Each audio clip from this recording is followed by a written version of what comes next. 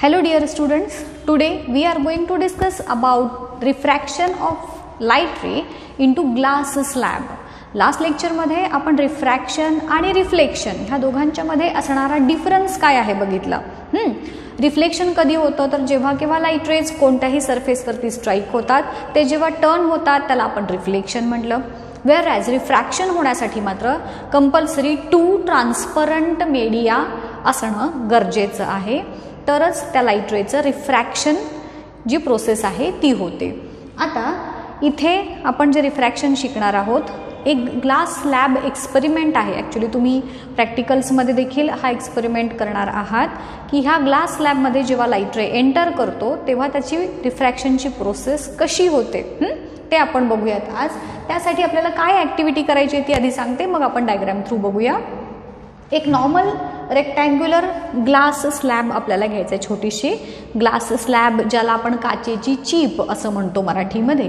So ही glass slab घेतल्यानंतर एक drawing sheet असतो की नाही आपला? ड्रॉइंग पेपर त्या ड्रॉइंग पेपरवरती ती ग्लास स्लॅब आपल्याला पुट करायची आहे ठेवायची आहे. आता चार टाचण्या घ्यायच्या. चार टाचण्या घेऊन एका साईडला त्या ग्लास स्लॅबच्या एका साईडला दोन टाचण्या आपल्याला एक लाईनमध्ये प्लेस करायच्या आहेत.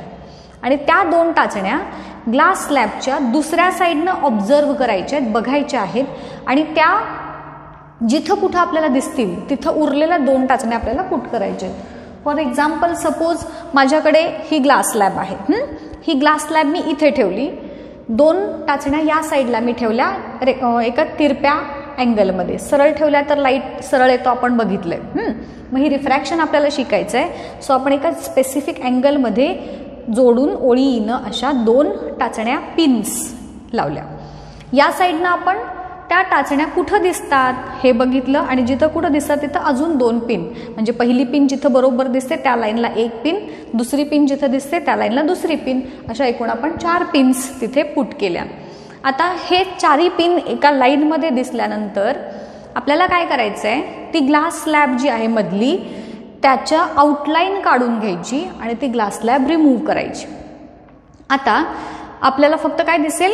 रिमूव्ह केल्यानंतर त्या ग्लास स्लॅबची आउटलाईन दिसणार ड्रॉइंग पेपरवरती आता ह्या ज्या टाचण्या होत्या आपल्या चार त्या देखील आपल्याला रिमूव्ह करायच्या आहेत आणि तिथून त्या ग्लास स्लॅबचा जो सरफेस होता तिथंपर्यंत त्या लाईन एक्सटेंड करायच्या आहेत आता हे सगळं एक्सपेरिमेंट झालं. डायग्रॅमॅटिकली कसं दाखवता येईल बघा मी सुरुवातीला ही ग्लास स्लॅब घेतली ड्रॉइंग पेपरवरती डायरेक्टली काढली आहे असं इमॅजिन करा. या ग्लास स्लॅबच्या चार बाजूंना मी पी क्यू आर एस अशी चार नावं दिली. आता काय करायला सांगितलं होतं? दोन टाचण्या आपण इथे जोडल्यात. त्या या साईडनं बघितल्या आणि त्या जिथं कुठं दिसतात तशा इथे दोन परत टाचण्या मी जोडल्या.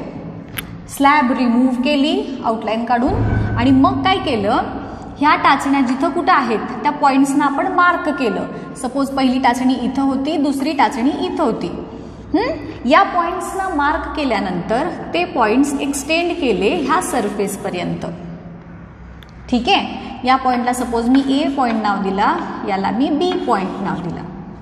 आता या सेम पद्धतीनं इथं देखील आपल्याला जोडायचं आहे. पण थोडंसं ॲक्युरसीमध्ये आपला डायग्रॅम थोडीशी चुकू शकते. सो त्याची पण मी एक आयडिया सांगते तुम्हाला.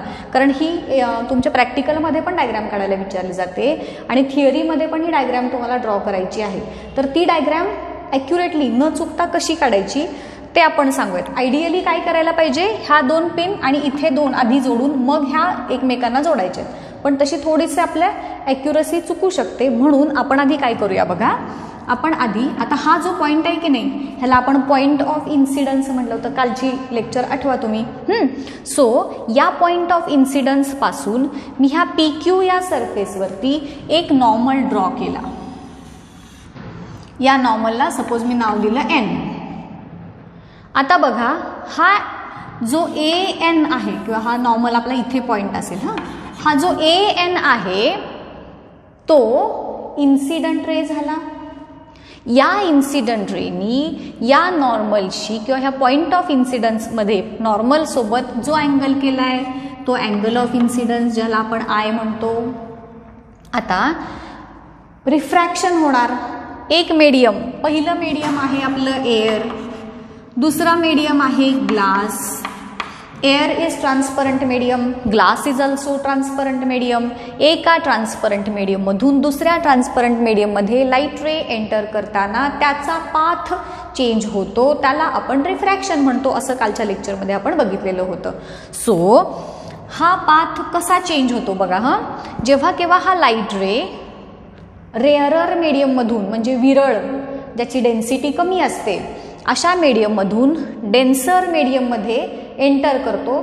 रूल आहे आपण पुढे शिकणारच आहोत.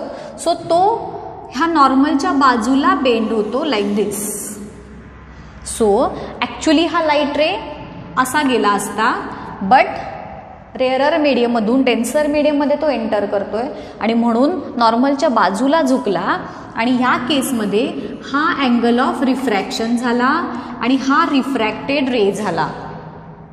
आता हा रिफ्रॅक्टेड रे जेव्हा ह्या एस आर सरफेसवरती येऊन स्ट्राईक होईल तेव्हा सेकंड रिफ्रॅक्शन होणार. म्हणजे ग्लास स्लॅबमध्ये जेव्हा हा लाइट रे एंटर करतो तेव्हा इथं पहिलं रिफ्रॅक्शन झालं आणि ह्या ग्लास स्लॅबमधून बाहेर पडताना दुसरं रिफ्रॅक्शन झालं. टोटल दोन ठिकाणी हे रिफ्रॅक्शनची प्रोसेस झालेली आपल्याला दिसून येईल. आता परत हा जो पॉईंट आहे या पॉइंटला एस आर सरफेसवरती आपण एक नॉर्मल ड्रॉ केला. ह्याला एन नाव दिलं होतं ह्याला आपण सपोज एम नाव देऊया.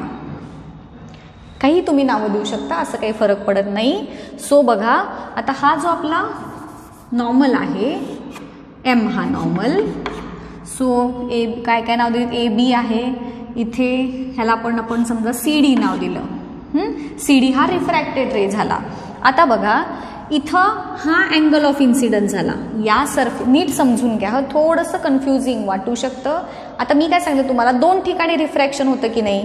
म्हणून आता हा पार्ट आपण असा डिवाइड करूया. पहिलं रिफ्रॅक्शन इथे आणि दुसरं रिफ्रॅक्शन ह्या साईडला so for first refraction this is angle of incidence this is angle of refraction for second refraction this is angle of incidence म्हणून मी ह्याला आय डॅश म्हणेन. आणि दिस इज अँगल ऑफ रि हा इन्सिडन्स झाला. आणि अँगल ऑफ रिफ्रॅक्शन इथे असणार.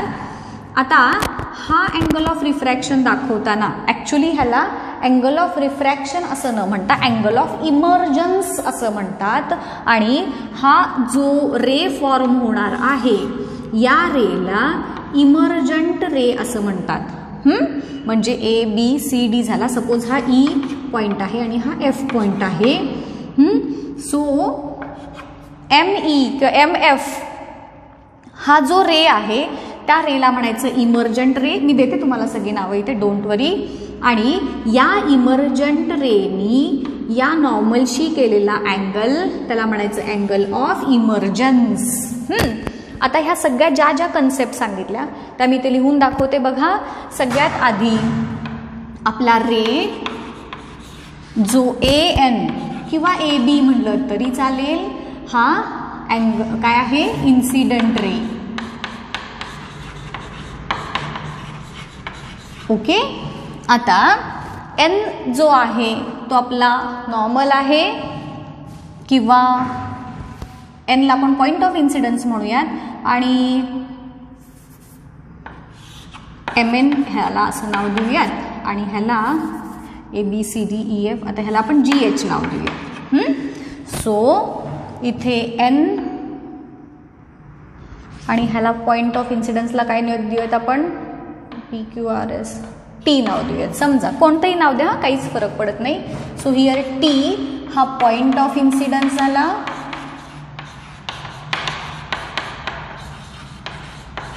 ओके एम एन हा नॉर्मल झाला.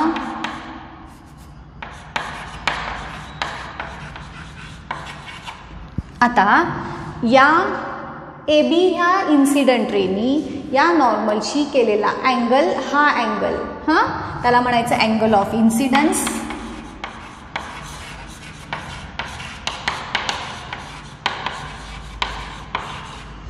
तसंच या हा जो रे आहे सी डी हा रे रिफ्रॅक्टेड रे आहे.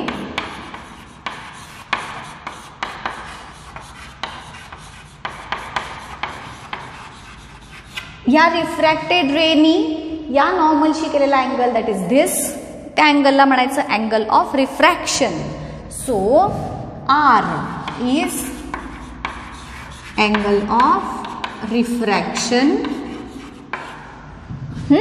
आता काय राहिले? कोणत्या कोणत्या पॉईंट्सना नावं द्यायची राहिली बघा. हे फर्स्ट रिफ्रॅक्शनसाठी झालं. हां? नाव नेक्स्ट रिफ्रॅक्शन होतं ह्या पॉईंटला आता ह्याला आपण टी यू नाव देऊ समजा. सो पॉईंट यूला सेकंड रिफ्रॅक्शन झालं आणि आता सेकंड रिफ्रॅक्शनसाठी सी डी हा इन्सिडंट रे असणार आणि ई एफ हा रिफ्रॅक्टेड रे असणार. बट टोटल रिफ्रॅक्शन आपण कन्सिडर करतोय. म्हणजे ए बी पासून सुरू झालं. या रेपासून सुरू झालं आणि ह्या रेला जाऊन थांबलं किंवा संपलं रिफ्रॅक्शनची प्रोसेस दोनदा जी घडते मी सांगितलं. आणि म्हणून ए बीला इन्सिडंट रे म्हटलं जातं. व्हेर ॲज ई एफला सेकंड रिफ्रॅक्टेड रे आहे हा. आणि या रेला इमर्जंट रे म्हणजेच बाहेर पडणारा रे हा आत येणारा रे ग्लास स्लॅबमध्ये येणारा. आणि ई एफ हा ग्लास स्लॅबमधून बाहेर पडतो की नाही? म्हणून त्याला इमर्जंट रे असं म्हणतात. So here for the second refraction बघा हा. आय डॅश हा अँगल ऑफ इन्सिडन्स झाला.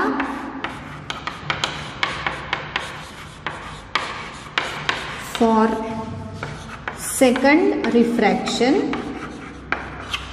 आणि ई जो आहे it is angle of emergence आणि ई एफ या रेला काय म्हटलं आपण? इमर्जंट रे ग्लास स्लॅबमधून बाहेर पडणारा रे त्याला म्हणायचं इमर्जंट रे इमर्जंट रेनी या नॉर्मलशी केलेला अँगल अँगल ऑफ इमर्जन्स आणि इन्सिडंट रेनी या नॉर्मलशी केलेला angle angle of incidence for second refraction आता हे मी सगळं का दाखवलं सांगते? याच्यावरती अशी डायग्रॅम तुम्हाला दाखवली जाते आणि ह्या डायग्रॅमवरती बेस्ड पार्ट्सना नेम्स द्यायला विचारलं जातं. आणि त्यासाठी तुम्हाला प्रत्येक ह्या पार्टची नावं माहिती असणं गरजेचं आहे. हा incident ray refracted ray second रिफ्रॅक्शनसाठी हा इन्सिडंट रे हा इमर्जंट रे किंवा रिफ्रॅक्टेड रे पण आहे ह्याला तुम्ही म्हणू शकता. आता आता ह्या अँगल्स मध्ये असणारं एक छोटंसं को रिलेशन सांगते. आपण ते प्रूव्ह करायचं आहे पुढच्या लेक्चरमध्ये याच्यामध्ये हा आर जो आहे आपला हा आर आणि हा आय आय डॅश हे दोन्ही अँगल्स इक्वल असतात. Here R is equal to I dash का इक्वल असतात? कारण हे अल्टरनेट अँगल्स आहेत होय की नाही?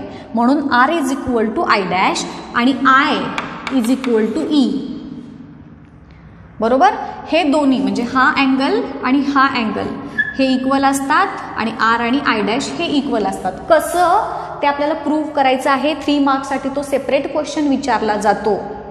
सो ते प्रूफ आपण नेक्स्ट लेक्चरमध्ये बघणारच आहोत. आतापुरतं फक्त एवढं लक्षात ठेवा की हे दोन अँगल्स इक्वल असतात आणि हे दोन अँगल्स इक्वल असतात. याच्यानंतर हा एक पहिला प्रश्न झाला आपला की ही डायग्रॅम ड्रॉ करायला तुम्हाला सेपरेटली विचारलं जातं अलॉंग विथ नेम्स किंवा डायग्रॅम दिली जाते आणि त्याला नेम द्या. हा e, ई एफला काय म्हणायचं? सी डीला काय म्हणणार? ए बीला काय म्हणणार? असे प्रश्न विचारले जातात. हा दुसरा प्रकार झाला. तिसरा जे वन मार्कचे क्वेश्चन असतात आता इथं थोडंसं कन्फ्युजिंग आहे बघा हां? नीट ज्यांना समजली की नाही कन्सेप्ट त्यांनाच ह्या क्वेश्चनचं आन्सर देता येणार. आता इथे आपण मी हे फक्त पहिलं रिफ्रॅक्शन दाखवते हां? हा नॉर्मल इन्सिडंट रे आणि हा रिफ्रॅक्टेड रे आता बघा प्रश्न कसा वन मार्कचे क्वेश्चन जे कन्फ्युजिंग असतात याच्यामध्ये दिला ज दिला की इन्सिडंट रेनी सरफेस बरोबर म्हणजे पी क्यू सरफेस सोबत केलेला angle suppose the incident ray makes and angle of thirty degree with the surface या इन्सिडंट रेनी या सरफेस सोबत केलेला अँगल थर्टी डिग्री सांगितलाय. तर what is the angle of incidence असा प्रश्न तुम्हाला समजा विचारला तर काय आन्सर द्याल रे तुम्ही? की आता हे तर तुम्हाला माहिती आहे नॉर्मल सोबत इन्सिडंट रेनी केलेला अँगल त्याला अँगल ऑफ इन्सिडन्स म्हणतात. बरोबर? मग आता ह्या इन्सिडंट रेनी सरफेस सोबतचा अँगल केलेला थर्टी डिग्री आहे. हा टोटल अँगल नाईन्टी डिग्रीजचा असतो. सो नाईन्टी डिग्रीज मायनस हा थर्टी डिग्रीज असं तुमचा आन्सर येणार. मग what will be the value of angle of incidence here will be sixty degrees आता अजून एक प्रश्न बघा. हे लक्षात आलं? उलट सुलट कसंही विचारतील. मग समजा तुम्हाला अँगल ऑफ इन्सिडन्स देतील. सो इन्सिडंट रेनी सरफेस बरोबर केलेला अँगल काय असेल? असं पण विचारलं जाईल. लक्षात ठेवायचं. आधी प्रश्न वाचायचा. कोणी कुणासोबत कोणता? कारण हे जे एम सी क्यूज असतात की नाही आपले ते बऱ्यापैकी कन्फ्युजन निर्माण करणारे असतात. आपल्याला पटकन वाटतं एक हेच आन्सर असेल पण थोडं विचार करायचं आणि इथं हमखास तुम्ही चुकता बघा. सो हा एक प्रकार झाला. आता दुसऱ्या प्रकारचे जे वन मार्कचे क्वेश्चन असतात त्याच्यामध्ये बघा असाच एक incident ray. Angle of incident suppose forty degree सांगितला आहे ओके आणि हा रे जेव्हा बाहेर पडतो बाहेर पडण्याच्या आधी म्हणजेच हा जो मधला हा रे आहे तर त्या रेनी नॉर्मलशी केलेला अँगल सपोज ट्वेंटी डिग्री आहे. समजा असं इमॅजिन करा तर अँगल ऑफ इमर्जन्स काय असणार? असा प्रश्न जर तुम्हाला विचारलं तर तुम्ही काय सांगाल? अँगल ऑफ इमर्जन्स हा फोर्टी डिग्री आहे. आणि angle of refraction twenty degree असणार. बरोबर? आलं का लक्षात? इन्सि अँगल ऑफ इन्सिडन्स फोर्टी दिला आहे बाहेर पडण्याच्या आधी त्या अँगलनं नॉर्मलशी केलेला सॉरी त्या रेने नॉर्मलशी केलेला अँगल ट्वेंटी डिग्रीचा दिला आहे तर अँगल ऑफ रिफ्रॅक्शन आणि अँगल ऑफ इमर्जन्स काय असतील असा प्रश्न आहे. व्हॅल्यूज व्हॅरी होऊ शकतात. मी एक उदाहरण म्हणून देते फक्त समजण्यासाठी. सो आता जसं मी तुम्हाला सांगितलं आर आणि आय डॅश हे इक्वल असतात. आता हा आय डॅश आहे. मग जेवढी व्हॅल्यू आय डॅशची तेवढीच आरची म्हणजे हा अँगल पण ट्वेंटी डिग्रीचा झाला. आणि आय आणि e ई इक्वल असतात म्हणून हा अँगल फोर्टी आहे. सो अँगल ऑफ इमर्जन्स पण फोर्टी डिग्रीचा झाला. अशा प्रकारचे क्वेश्चन्स जर तुम्हाला विचारले तर कुठल्याही प्रकारचं कन्फ्युजन न होता तुम्हाला हे उत्तर देता आली पाहिजे. येत आहे लक्षात? अजूनही खूप डिटेल आहे याच्यामध्ये. जसं जसं पुढे पुढे आपण जात जाऊ तसं तसं तुम्हाला प्रत्येक बारीक सारी गोष्ट सांगण्याचा मी इथं प्रयत्न करेन. सो ह्या गोष्टी ह्या दोन मेन कन्सेप्ट लक्षात आल्या का बघा. हे वन मार्क्ससाठी सॉरी थ्री मार्क्ससाठी हे विचारलं जातं. ह्या रेजची नावं इथं तुम्हाला सांगितली. दोन वेळेला रिफ्रॅक्शनची प्रोसेस होते. एक या पॉईंटला दुसरी या पॉईंटला ह्या दोन जे रेज आहेत ए बी आणि ई एफ हे दोन रे पॅरल असतात. सायंटिफिक रिझनसाठीचे जे क्वेश्चन असतात तिथं देखील तुम्हाला विचारलं जातं की why ray A B and E F are parallel to each other so आता या क्वेश्चनचा आन्सर देताना आपण काय सांगणार बघा?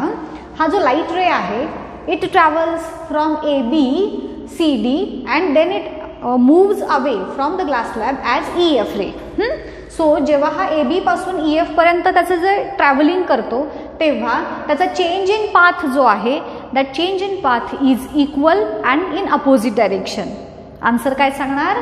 की पी क्यू साईडमध्ये लाइट एंटर करतो एस आर साईड म्हणून लाइट जो आहे तो ग्लास लॅम्पमधून बाहेर पडतो.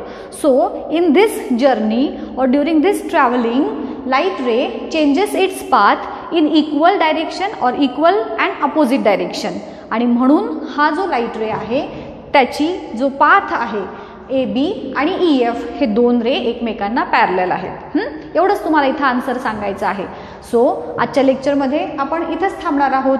नेक्स्ट लेक्चरमध्ये याच्या पुढची कन्सेप्ट बघूया.